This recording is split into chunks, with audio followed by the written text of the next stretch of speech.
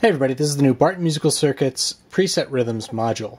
This module has several rhythm patterns stored inside of it, and you're using these knobs to select which one. And it's inspired by old rhythm boxes and presets from keyboards and things like that where you have kind of a limited amount of creativity. Uh, I'm going to quickly go over the controls. We have three knobs here. This sets the tempo for the internal clock. As you can see that goes faster and slower. And when you're using an external clock, using that input right there, this then becomes a divider control. And as you can see, there is a control voltage input right there, which when you're inputting something there, the knob then becomes an attenuator for that voltage input instead of creating the voltage manually. Uh, and that's true of all three knobs. This is the kick select knob. Now, as you can see, there's no pattern selected, and even as I'm moving the knob, we're still not getting any kick output over here. This LED is the kick LED, which maybe wasn't obvious. Uh, and the reason it's not doing that is it doesn't sample the knob position until you press the proper button. And this lets you time out and get everything changed at the same time, and allows you to move around and select the next thing without having to hear all the patterns in between. So here you see I'm pressing the button, and now the light will start coming on.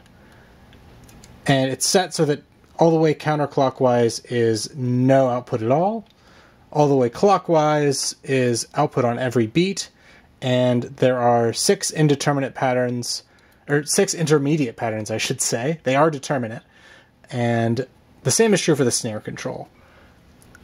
Um, and then finally, we have a reset button down here, which goes back to the first beat, but that is all of the controls. So I'm going to set up a quick patch.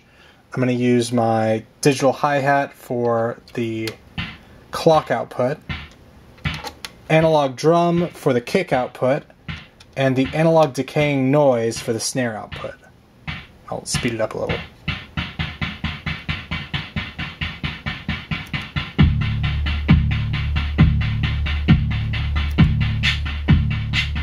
This is a very basic kind of four on rhythm.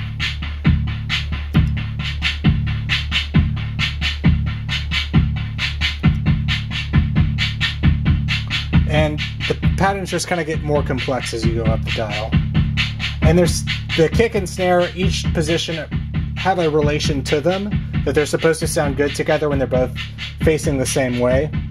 Uh, but you're obviously you're allowed to mix and match.